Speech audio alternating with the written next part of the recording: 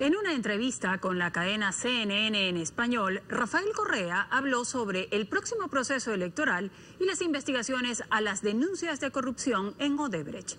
Según el primer mandatario, este tipo de casos no se pueden prever antes de que ocurran, pero se sancionan al ser detectados. Rafael Hernández, con un resumen.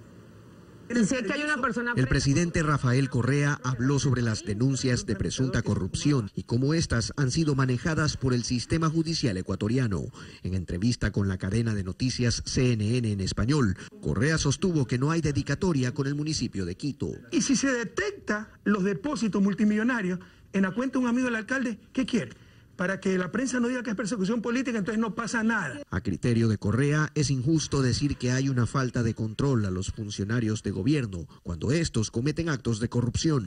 ¿En, qué áreas están investigando ahora funcionarios de su gobierno? Pero en todas las áreas. Nosotros tenemos declaración juramentada. Hemos pedido auditoría a todos los funcionarios de gobierno, a los gerentes de la empresa pública. ¿Cómo se detectan coimas en paraísos fiscales? Son conductas personales que ya tienen que ver con falta de valores, con desviaciones morales.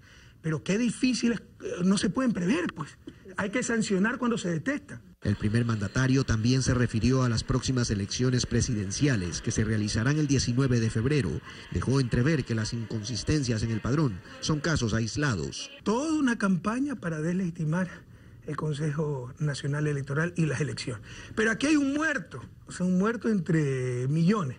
¿Y sabe por qué de repente en el padrón puede haber una persona fallecida? Porque no registraron pues la defunción los familiares. ¿Cómo, cómo se detectan esas cosas? Y dijo que todo el proceso es auditable. La entrevista completa al primer mandatario aún no ha sido transmitida por CNN.